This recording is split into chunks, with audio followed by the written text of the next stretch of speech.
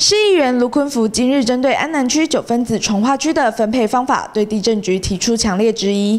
他表示，用抽签决定土地分配根本不具法律效力。如果对结局不满，任意地主都可以对地震局提告。这样一来，势必造成都市计划再次延宕。如果那是抽考啊抽的，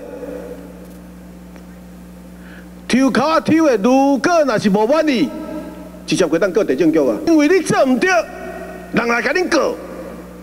未来土地一个暂缓分配，系啦，遐地主个共识啊，个无无抽考啊，即个法令，你向阮布出来讲抽考法令，啊，即人家甲你过啊，啊，开未甲你过，啊，你过落了后，势必其他遐地主要分配啊，一个个各自啊。地震局长林燕山说明，因为约一百零一公顷的土地为三百多个地主共有，政府无权帮他们分配重划后的土地区块，只好参考区段征收的模式，透过抽签决定选地顺序。而法规无明定该如何分配土地，所以此方式应该不算违法。这个这个分配方式啊，法规没有去明定这些细部的规定，那我们是参考区段征收这种土地分配。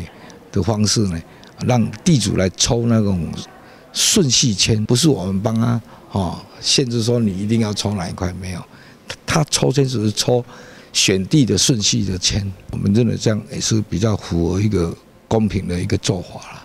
林燕山也强调，选地的自主权还是属于地主。在抽签前曾办过两场公听会，跟地主们沟通，之后也都有发送公文。分配时也尽量让每个人获利相同，在不公平中寻求最大的公平。记者杨宁志、王其勋台南报道。